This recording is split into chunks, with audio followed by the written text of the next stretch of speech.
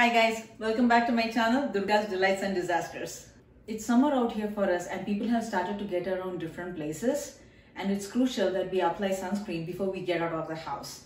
And not to say that during winter but we, we don't have to apply sunscreen, but it becomes even more important in summer that we need to apply sunscreen otherwise the harmful rays that's coming out of sun is going to damage our skin say if you're going to a beach or you have an upcoming vacation where you will be looking around different places roaming around in the sun and you know you need to wear a sunscreen but you don't have like enough time to do a research or something or to see which sunscreen to really buy and here you are in a grocery store or a drugstore and really overwhelmed by the number of products they might out have there in the shelf and confused with which one to buy I'm going to be sharing five things that you should be looking for when buying a sunscreen that should really help you serve their purpose and you should be able to really quickly grab and go. I'm also going to be sharing a very important tip at the end. So stay tuned, keep watching and don't miss it out. Some of you guys might have this question first of all, why you need to wear a sunscreen and why is it so important? I will tell you guys, there's enough research and proven evidence that the harmful rays from the sun can impact your skin that could lead to skin cancer and can potentially damage your skin over a lifetime.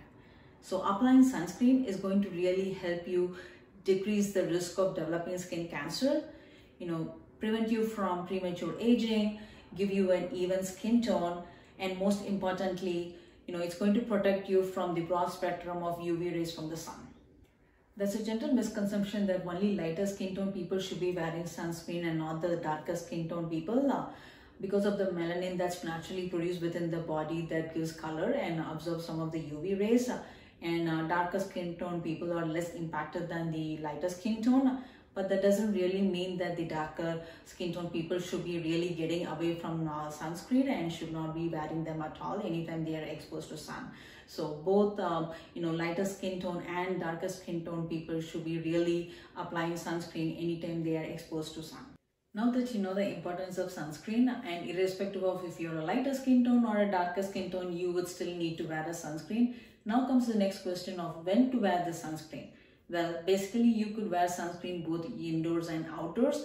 And if you are indoor and probably you are inside your house and uh, sitting by a window and working uh, where you know some of the harmful uv rays from the sun could uh, really penetrate deep into your skin the standard glass window tend to block only the UVB rays uh, that causes sunburn and not the UVA rays uh, that causes premature aging. So it's definitely important that you apply at least an SPF of 15 or higher uh, while you are still indoor. So you know we need to be wearing uh, sunscreens even while we are indoors. It's obvious and very important uh, that we wear uh, sunscreen while we are outdoor doing intense activities like hiking, biking or maybe out in the beach. Uh, so definitely we need to be wearing uh, an SPF of uh, 30 or higher.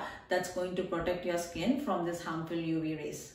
Experts say that you should be applying sunscreen probably 15 to 30 minutes before you are exposed to sun and reapply every two hours. Do you know that even on a cloudy day that up to 80% of sun's UV radiation can reach the earth and can damage your skin? Well, for that reason, I think it's really hard to say when to wear sunscreen and when not. So my recommendation would be to wear sunscreen um, on a daily basis and incorporate that as part of your daily skincare routine. So that way you don't have, have to worry about when to wear and when not.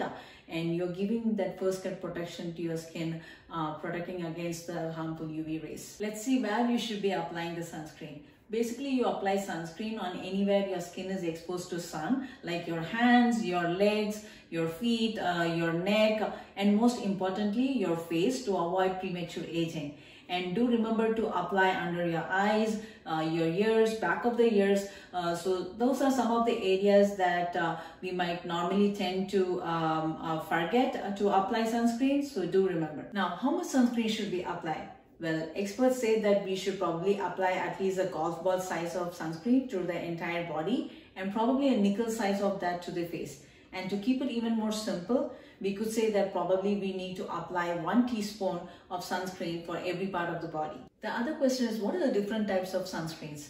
Well, there are two different types of sunscreens. One, the physical or mineral sunscreen and two is the chemical sunscreen. The difference between the two sunscreen is that the physical or mineral sunscreen uh, has some active ingredients of mineral compounds like zinc oxide or titanium dioxide that can help prevent your skin from UV rays.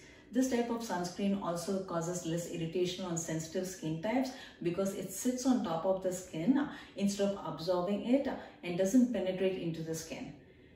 This uh, sunscreen can also feel heavy on skin uh, and because it is heavy and uh, thick, it tends to leave kind of a white casting uh, more on your face uh, and especially you know that could turn into uh, more ashy if you're really wearing it under your makeup and also it could be a little bit more white on darker skin tone. The other type of sunscreen is the chemical sunscreen that has some active chemical ingredients like avobenzone, oxybenzone and octinoxate. These types of sunscreens have better uh, water resistant formulation and are ideal for like swimming and other water activities. These sunscreens uh, tend to uh, penetrate deep into the skin uh, and because of that they could cause irritation for uh, sensitive skin types. This sunscreen also tends to leave very little uh, white casting compared to the physical sunscreen. Now that we understand more about the sunscreen, why it is so important uh, and also know when to apply sunscreen, how much we should apply and what are the different types of sunscreens that are available in the market, it makes a lot more sense uh, to see what are the five things that we should be really looking for when buying a sunscreen. The first thing you should be looking for in the label, it says broad spectrum, UVB and UVA. And what this means is that it's going to protect your skin from UVB, which could cause sunburns, and also UVA rays, which could cause like premature aging like wrinkles. The second thing is the SPF, which is the sun protection factor. And what this number tells is that how long the sun's UVB rays will take time to redden your skin if you had applied the sunscreen compared to the time that it had taken if you had not applied the sunscreen. For example, if your skin uh, tends to redden, like probably 10 minutes after you are exposed to uh, sun applying an SPF 30 is going to ensure that it's going to take like 30 times longer time to redden your skin compared to you know if you have not applied the sunscreen.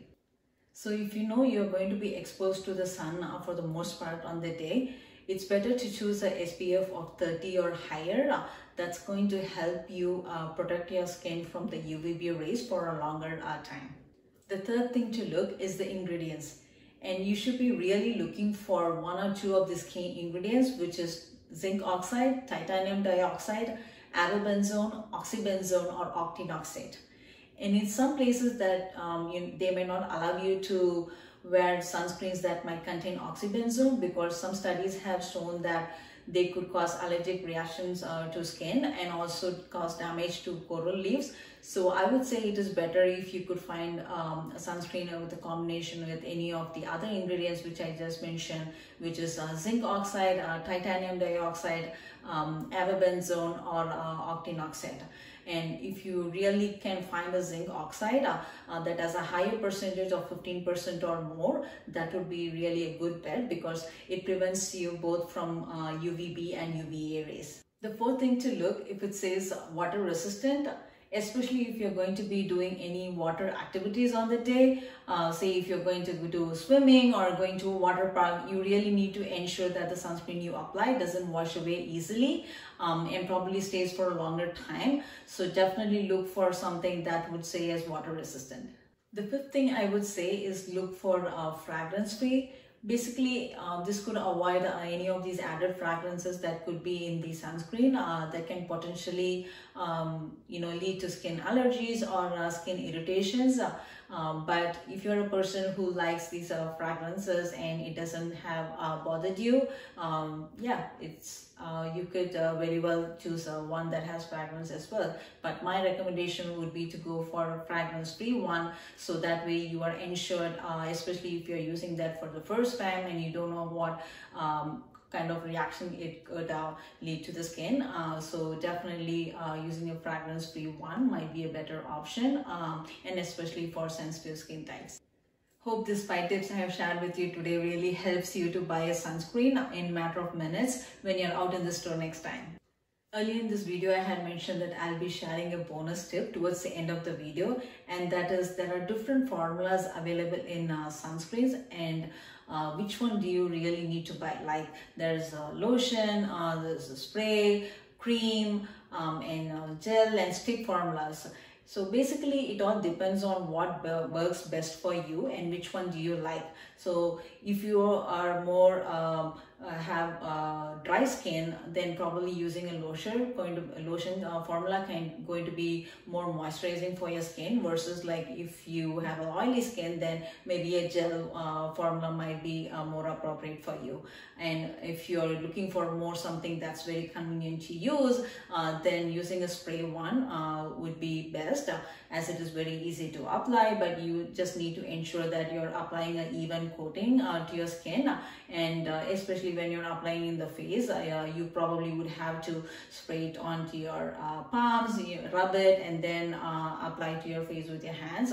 Um, and um, versus like if you are like uh, looking to something spot applicate like on your nose ears um, then probably stick would be a best option for that. So the key thing is that you really need to look for something that works out best for you uh, and for your skin. Uh, and so that way you're going to be consistently uh, using it uh, um, and you're able to protect your skin uh, from this harmful UV uh, rays when you're exposed to sun. Hope you all enjoyed watching today's video and it was informative. If you like this video, give a thumbs up, subscribe and please hit the bell button for further notifications. If you'd like to watch more of these videos, then leave a comment below. Thank you all so much for watching and see you all next time.